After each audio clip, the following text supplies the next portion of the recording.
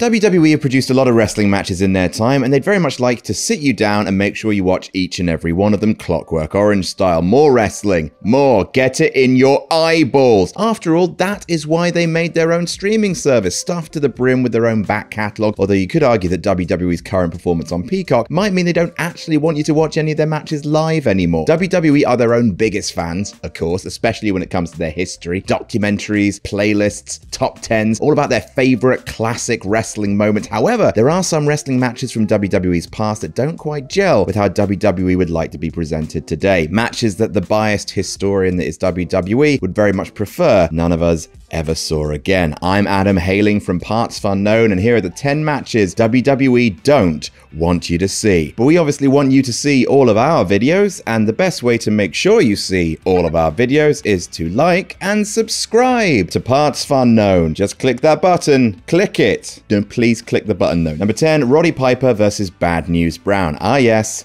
the blackface match. WWE has actually dabbled in blackface a number of times, and now that I've said it, I really think dabbled is absolutely the wrong word, but sod it, they did it, not me. There's the infamous DX segment where they came out dressed as the Nation of Domination and like way to prove the nation right about how race relations were in WWE back in the 90s, doing their job for them there. There's a jaw-droppingly awful match between Goldust and Flash Funk where Goldie does blackface. Oh Jesus Christ, it's a huge car crash. And then there's this blackface on the grandest stage of them all a match notorious for getting WWE in trouble with Peacock on day one of their partnership, where Rowdy Roddy Piper used blackface as, I guess, mind games for his match against Bad News Brown at WrestleMania 6, daubing half his face and body in black body paint. WWE are so committed to you not seeing this throwback that it's been cut from the Mania 6 broadcast on both Peacock and the WWE network. Jesus wept. Number 9, Debra versus Sable. Today, WWE cares about women's wrestling, a fact that might have passed you by if you saw that god awful belt swap segment on SmackDown, but apparently they do. And hell, despite my sarcasm, which I cannot turn off by the way, so just imagine what it's like to be me every day, WWE books its women's championships like big deals. WrestleMania 37, the main event of WrestleMania 35. By and large, the belts mean something, which is why WWE would probably like you to forget about all the ways it pissed on the women's championship back in the Attitude Era. First off, Harvey Wippleman won the thing. Fabulous Moolah won it in her 70s in a ludicrous match. And then there's this, an evening gown match on Raw for the belt where Sable won the match by stripping Debra down to her bra and panties, but then Commissioner and Horn Dog Shawn Michaels said that actually Debra won the match and the belt because she got naked first. Perhaps the single worst title change in all of WWE history, and maybe the biggest indictment of WWE's women's division of the time. Number eight, Trish Stratus and Bradshaw versus Jackie Gayda and Chris Nowinski. Oh, this, oh, oh, oh, oh, oh,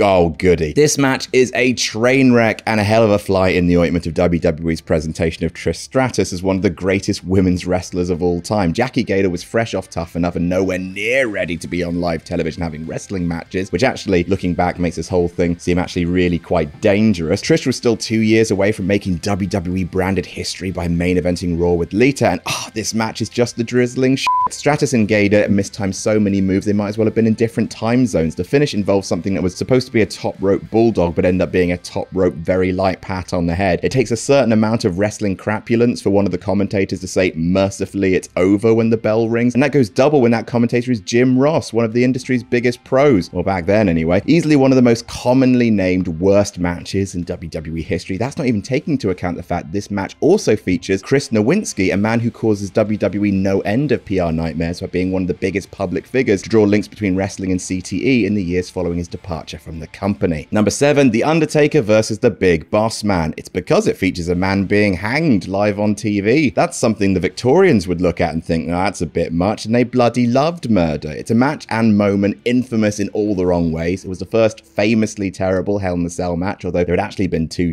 cell matches on Raw before this, which no one remembers. It's one of Grim Dark Grim Mark's top three worst matches of his whole streak, and once more with feeling, after the match was over, they ran a segment which involved the big boss man being hanged and, I guess, killed?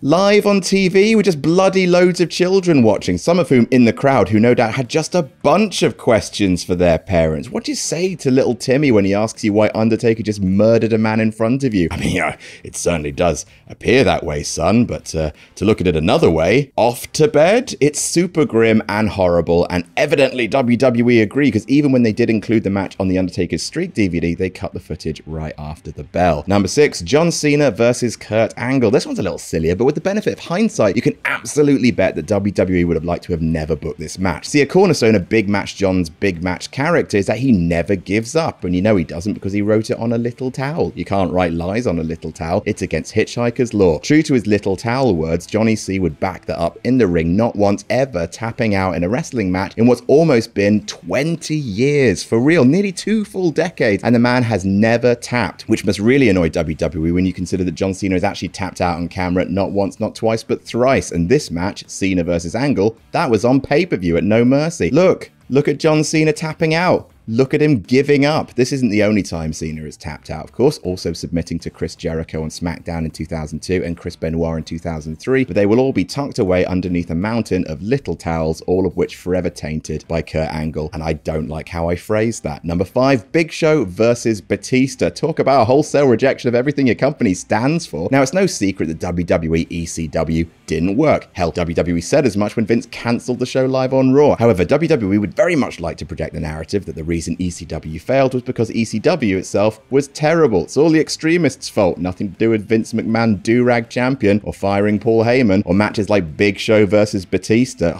Oh man, it's a pure Schadenfreude train wreck. The August 1st, 2006 episode of ECW was filmed at the Hammerstein Ballroom, a pretty important venue for old school ECW fans. The main event of that show was ECW champion Big Show versus Batista. Two men who both epitomized the bigger is bigger model of sports entertainment and couldn't have been more the antithesis of classic ECW if they'd come down to the ring carrying big signs that said, careful now and down with this sort of thing. What happens next is ECW fans spending about 20 minutes bluntly informing WWE that their product is bad and they should feel bad, with chants of boring, change the channel, and a never ending background chorus of boos that made it sound like the match was happening in a field of a thousand cows. Am I so out of touch? asks Vince.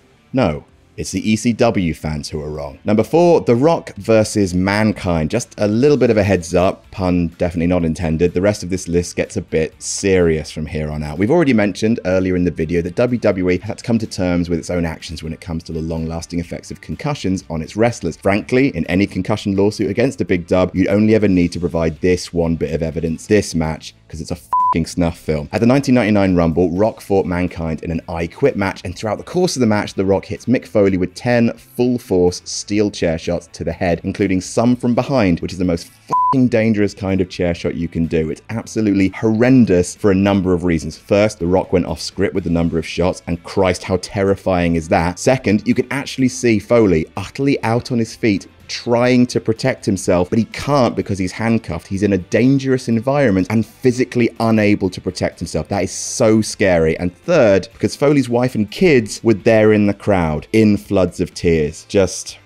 Ugh. Number three, the 2004 Royal Rumble match. A good Rumble that WWE have committed themselves to erasing from history, which is always super glaring because it's a Rumble that's deeply entrenched in their Rumble stat. Chris Benoit started the Rumble at number one and won the whole thing, which is something that's only happened three times, WWE will tell you. When Shawn Michaels did it, when Edge did it, and what's the third time you ask? Haha, says WWE. Royal Rumbles are just fun to watch. To be honest, you could just put all of Chris Benoit's matches on this list the WrestleMania 20 main event, the SummerSlam 2004 main event, all stripped from WWE's guided tour of its own past for, let's be honest, completely understandable reasons. But trying to delete the Rumble 2004 from a format history that constantly celebrates its many winners over and over again, that is the biggest pain in WWE WWE's ass, which again is a real shame because as a Rumble, it's fairly brilliant. Number two, Jeff Jarrett and Debra versus Val Venis and Nicole Bass. Oh man. So if we didn't tell you which event this match took place at, you'd be quite right to furrow your brow and say, I don't even slightly remember that match even taking place. It did. It took place at Over the Edge 1999. And this match has the very unfortunate distinction of being the first match to take place after the tragic accident that took Owen Hart's life. For those who don't know, Owen was supposed to be lowered to the ring in his blue blazer gimmick. The harness gave way and he fell to the ring below, sustaining injuries that cost him his life. WWE then made the completely wrong decision to continue on with the show. With this,